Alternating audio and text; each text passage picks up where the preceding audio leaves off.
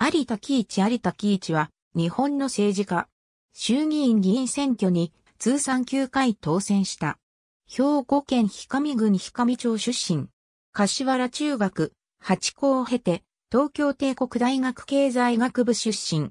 政界入りする前は、帝信省大阪帝信局長や、運輸省海運総局長を歴任した官僚だった。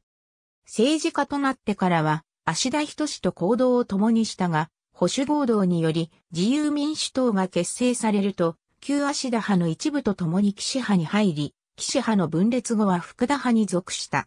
福田武雄の右腕と言われ、福田が自民党幹事長を務めていた1966年、その下で党経理局長を務めた。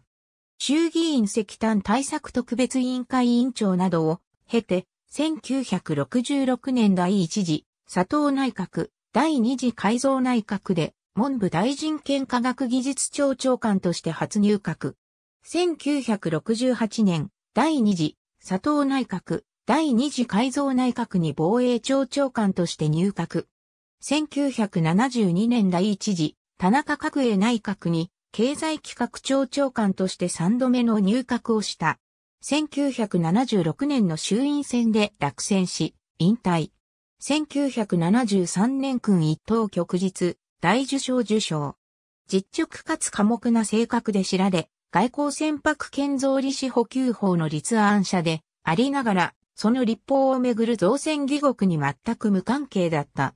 上田正明、津田秀夫、長原慶に、藤井正一、藤原明、コンサイス日本人明治店第5版、株式会社賛成堂、2009年63ページ。